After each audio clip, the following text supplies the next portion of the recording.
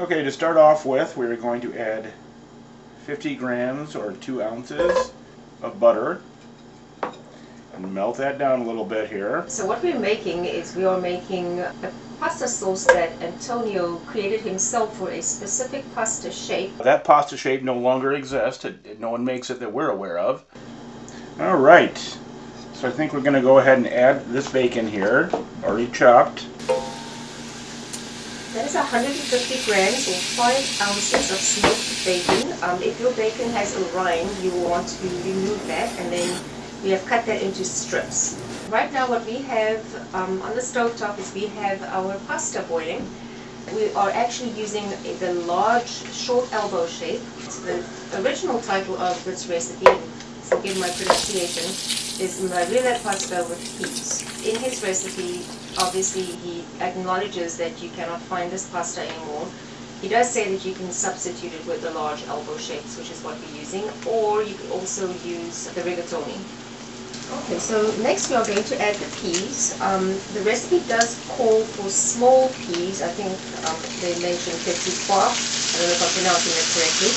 Um, we were not able to find it anywhere, so we are just using regular frozen peas. And we are using 200 grams or 7 ounces of peas. And then to that, we are going to also add the passata. Now you can see that we do not have a full bottle of passata there. Um, that is just a little bit too much for this recipe.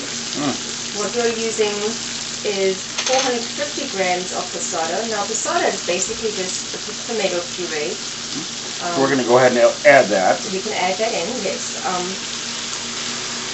you can also just use four large ripe tomatoes that has been skinned and de-seeded. The man behind the DeLorean design from the DeLorean automobile, if you remember that from Back to the Future, um, his name's a little bit hard to pronounce, but it was... so you're putting that... I'll try it, but I don't have it in front of me. Okay, it, I guess it is Giorgetto Giugiaro? Giugiaro. Yeah. If we butchered that name, we're sorry, Giugetto or whatever. I'm confident that we butchered Yes. but he designed the, along with a lot of other automobile designs, he designed the the body, I believe, of the DeLorean, the look of the DeLorean. Exactly right. And you talk about a man of diverse talents. He also invented this pasta.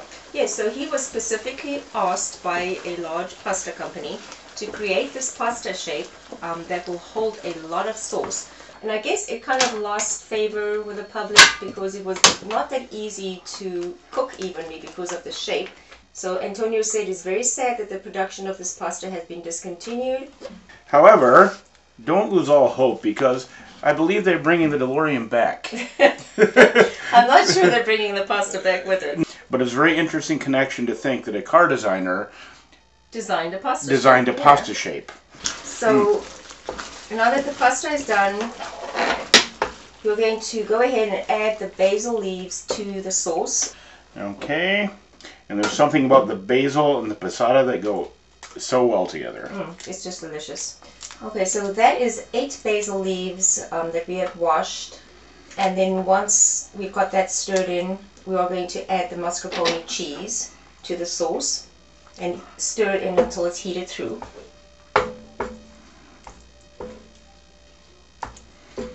Okay, and next we're going to add the mascarpone cheese. I don't know if I said that correctly either. Okay, and that is 150 grams or 5 ounces.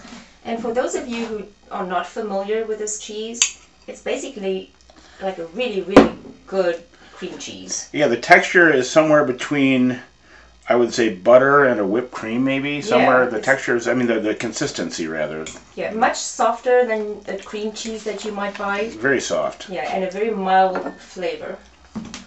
That cheese is melted in rather nicely, very easy to melt, and it, it's given the sauce a very nice color, I think. Yeah, nice and creamy looking. A, a nice consistency to the sauce. Um, yeah, it, it, looks good so far. Yeah, so this is definitely more of a creamy tomato sauce.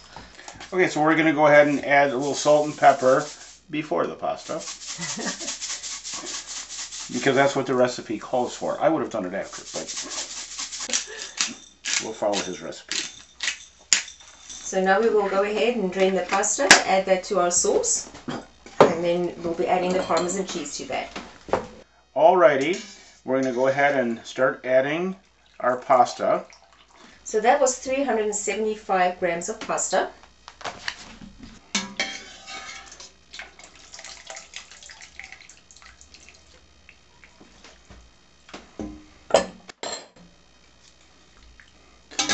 Okay, we're going to continue to add the pasta. Not a ton ton left. Those are some big elbows, boy, I tell you. We're going to mix that in and then add the Parmesan cheese, which is freshly grated Parmesan. And that was 75 grams or 3 ounces of Parmesan cheese. Oh, that looks really good. Now we're going to go ahead and add the Parmesan.